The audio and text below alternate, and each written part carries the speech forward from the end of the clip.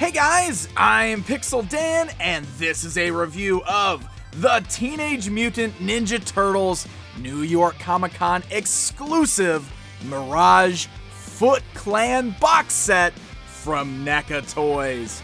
That's right, after so many years, we finally, finally have this amazing Foot Clan figure box set based on the original Eastman and Laird comic books. These figures were supposed to come out way back in 2009, but ended up being canceled. And they have been the set of figures that I have been most bummed about never being able to add to my collection. So when I found out that NECA was finally going to be able to release these figures, I was more than ecstatic. So let's check these long awaited figures out. As you can see, they come in really awesome, fully enclosed box packaging. Has a great flap here that reveals the window, which will, which will fully showcase the action figures within. But we have some wonderful artwork right there on that front flap that comes straight from those original Mirage comic books featuring the Shredder and his Foot Clan behind him. As you rotate this around to the backside, we've got some awesome photography of the figures within. Special shout out to my buddy Matt K, who took the awesome photo for this packaging. So back around to the front, you can see that that flap does fold up on the box, which fully reveals our Foot Clan within. Now up here on the top part of the flap, uh, you can see we've got some panels right out of the comic book there, where the uh, turtles had the showdown with the Shredder. And then back down here to the window box, you can see we've got some really great kind of comic booky looking artwork in the background. And then it fully showcases Shredder, the three foot soldiers, and even an Utrom that's packed in. So really nice packaging. Uh, will definitely make for a great display. It is worth noting that the flap folds up on this box instead of folding down like we saw in the arcade boxes.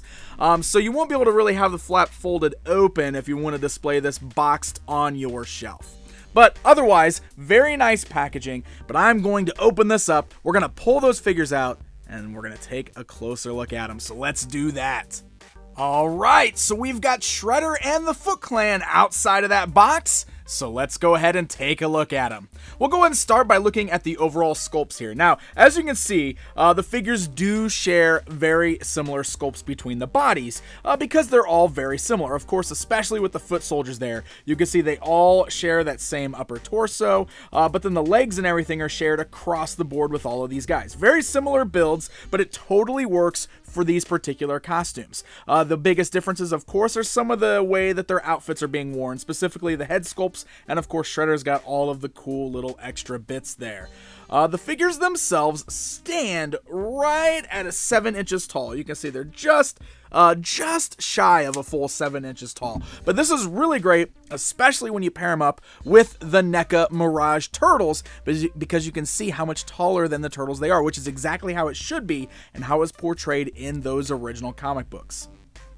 Now, the overall sculpting is very nice on these. Uh, they do a great job of capturing the look of the comic books, and that is really benefited by the paint deco. Uh, looking at Shredder here, first and foremost, of course, all of the armor bits, like the helmet, the little spiky shoulder pads, the forearm gauntlets, they're all done in kind of this almost metallic silver. It's not overly metallic, but you can see it does have a nice shine to it.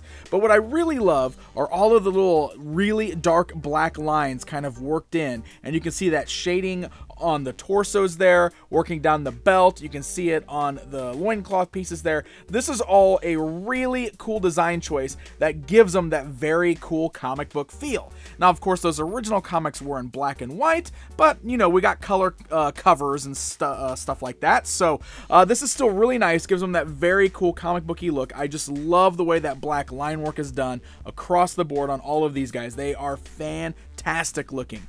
Uh, now, there are some things here that I want to point out, specifically with Shredder. We'll start here. Uh, the little spikes on the back of his hands there, you know, very characteristic of this particular character. Uh, they are made of a very soft, pliable plastic, and mine did come out of the packaging warped because of the way the uh, little blister bubble was on the inside. So you can see they're very bent. Now, you could probably kind of work on these to straighten them out, uh, but they are going to come out of that package a little warped probably because they're very soft, so that is definitely something worth noting. Otherwise, uh, I will say that all of these figures feel very nice. I mean, they feel solid, uh, they feel durable, and they have some really great articulation as well. So let's go ahead and talk articulation on these guys. The heads are ball jointed, so you can see they roll all the way around. You can also move them up and down. There's a great range of motion there, which is going to be really nice, especially for someone like those crouching poses and everything. You can also slightly move the neck at the base down there. We do have ball joints at the shoulders. They're very tight on all of these guys, but the arms do move up and down forwards and backwards. You got the swivels at the bicep. You got really nice double joints at the elbows. You can see there. Uh, we've got the swivels at the wrist there, as well as the hinge joints that allow the wrist to move forwards and backwards. We got the nice waist cut there. We do have great ball joints at the thighs, and you can see there are slits in the sides of the little skirt pieces there, so it does not hinder the movement whatsoever. So legs can go forwards, backwards, side to side. We can swivel up there at the thigh as well. We've got really nice double joints at the knees there. You got swivels at the boot cut, and then you've got really nice ankle joints that can move forwards and backwards as well as rock side to side, and you've got the toe joints there. So really great articulation across the board. Of course, all of these guys share that same articulation. Uh, uh, even though Shredder's got the little shoulder pauldrons up here, you can see that it doesn't hinder the movement of his shoulders. The arms can still go upwards and forwards just fine because these do move a little bit. You can see they're pliable as well. So you should be able to get some really great poses out of these guys, which is nice considering they're ninjas. You want to get some really cool action poses or some crouching poses, and you can do just that. Now, these guys come with a ton of accessories. First of all, every single figure comes with a pair of interchangeable hands. Now, when they come out of the packaging, they will have the closed fists, like you can see on this foot soldier and the shredder here. But they will all also come with a pair of open hands. And this is for gripping onto the accessories, which are also included. So, just to show you that real quick, it's very easy just to get a good grip on the hand, give it a nice tug, and the peg will pop right out of the socket and we can then pop the new hand on in its place. You can see very easy to swap these out, uh, but it is still a very nice tight grip, so you don't have to worry about it being too loose or anything like that. So we can get those new hands popped in there, and now we've got our foot soldier ready to hold on to some weapons. So let's talk about those weapons. What all do we got here? Lots of different weapons going on here. So we've got this awesome staffed bladed weapon, which is very cool. I love using that one for our foot soldier over here. That's got the little cape and the straw hat. Oh, that is so cool looking. It's perfect for him. And it's really great too because the articulation allows you to get him to hold that, you know, double-handed if you want to or anything like that. We've got a single-handed bladed weapon. We've got two small knives. One of them is curved. We've got a throwing star, of course. We've got this amazing chained weapon, which is one of my absolute favorites. You can see it's kind of got the mace and the blade, and it's got a real metal chain in between. And then, of course, we have two katana blades. Now, the weapons are very nice because all the blades have a much more metallic silver, while the handles are more gray, and they all have that same kind of nice dark line black deco on there that gives them a very comic booky feel. And this is cool because you can mix and match these weapons however you want. Uh, you know, you can even give Shredder a gripping hand if you want to. So if you want him to, you know, hold onto the katana sword or anything like that, he can do just that. But this is awesome because it gives you the option to arm these guys up however you want to, and and if you ended up buying like multiples of these because you really wanted to build out a foot army, which I'm sure some folks did, this is very cool because it allows you to mix and match all these weapons to give you so many different types of foot soldiers. So the weapons that are included are all very, very cool. Alright guys, it's comparison time. Let's go ahead and start by comparing Shredder and the Foot Soldier to the more recent releases from NECA Toys that were based on the arcade game. You might have noticed, and some people did notice this when they got their arcade game sets, but those arcade figures are actually these comic book sculpts. They were just painted to look like the video game. So these are the same figures as those, just with different paint deco. And of course, the Shredder from the arcade set was wearing the cape that we see on our hatted foot soldier in this set.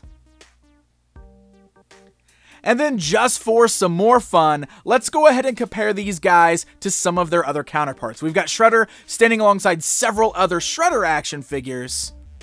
And we've got our foot soldier standing alongside some of the other foot soldiers that have been released. Now, there's one final bonus that was included with the set, which I was thrilled with we get a little Utrom. This guy is amazing. Again, fantastic little sculpt. Nice pink squishy brain there. Of course, many folks recognize Krang or the Krang from the Nick series, but these little aliens were just known as the Utrom in the original comic books. You can see wonderful sculpt on there, and what I was really impressed with is that he's got articulation. Look at that. The front two tentacles do have the ability to articulate up and down, which is a very, very nice touch. Not something that I was expecting. And again, just more awesome comic book Turtles goodness that we can add to our shelves with this little Utrom. And hey, how about we do a comparison time with him as well? Let's compare him to some of the other Utrom and Krang figures that we've received over the years. So there you go, my friends. There is a look at Shredder and the Foot Clan, based on the original Eastman and Laird comic books. This is an amazing set, and as I said at the beginning, this was a long time coming. I was so worried that I was never going to get these action figures, and from the moment they were originally shown back in the 09, uh, 2010 era, I wanted them so bad. And when they got canceled, I was so heartbroken, so I am so thankful that NECA found a way to get these figures released. Putting these on the shelf with the rest of the Turtles from the Mirage set, the Mousers, April O'Neil, it builds out my absolute favorite collection of Ninja Turtles action figures. I love that we have these wonderfully sculpted, wonderfully articulated, and beautifully painted toys that are based on those original comic books from Eastman and Laird. So NECA Toys, thank you. Thank you for giving me these amazing Turtles action figures. Now, this particular set was a New York Comic Con exclusive, and they also did pre orders online around that time. And unfortunately, at this moment, they are sold out through NECA. So, your best bet is to try tracking them down online. So, happy hunting, my friends! And hey, guys, did you enjoy this video? Are you a Turtles fan like myself? then make sure you guys hit that subscribe button. That way you'll never miss out on any of my Teenage Mutant Ninja Turtles or NECA Toys reviews. Until next time, my friends.